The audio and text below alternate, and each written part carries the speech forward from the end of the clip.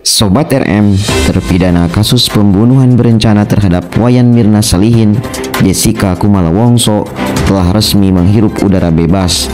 Jessica dinyatakan bebas bersyarat dari lapas perempuan kelas 2A Jakarta Pondok Bambu pada hari Minggu 18 Agustus 2024. Jessica keluar dari lapas dengan didampingi tim pengacara yang dipimpin Otto Hasibuan bersama petugas lapas yang mengawalnya.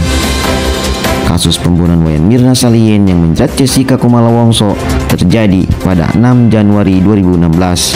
Saat itu, Mirna bertemu dengan Jessica Wongso dan seorang temannya, Hani Bun Juwita, di Cafe Olivier Grand Indonesia.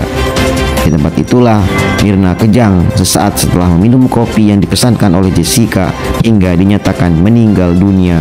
Setelah ayah Mirna, Edi Darmawan Salihin, membuat laporan ke polisi, Polda Metro Jaya pun menetapkan Jessica Wongso sebagai tersangka pada 29 Januari 2016. Jessica difonis 20 tahun penjara sesuai dengan pasal 340 KUHP tentang pembunuhan berencana.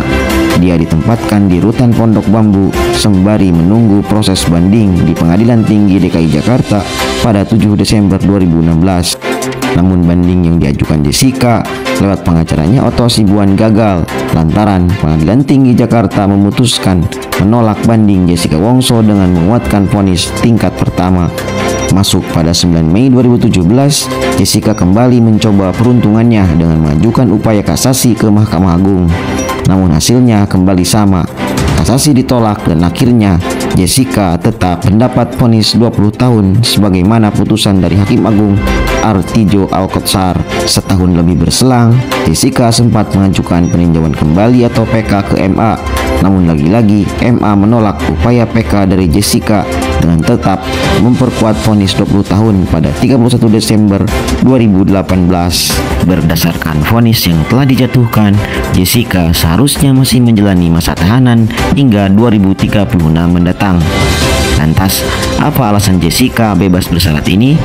Kepala Kelompok Kerja Humas Direktorat Jenderal Permasyarakatan Kementerian Hukum dan HAM atau Kemenkumham, Dedi Edward Eka Saputra menyebut selama menjalani masa tahanan, Jessica berperilaku baik berdasarkan sistem penilaian pembinaan narapidana dengan total mendapat remisi sebanyak 58 bulan 30 hari pemberian hak pembebasan bersyarat kepada Jessica Wongso sesuai dengan peraturan Menkumham nomor 7 tahun 2022 tentang perubahan kedua atas peraturan Menteri Hukum dan Hak Asasi Manusia nomor 3 tahun 2018 tentang syarat dan tata cara pemberian remisi, asimilasi, cuti mengunjungi keluarga, pembebasan bersyarat, cuti menjelang bebas dan cuti bersyarat.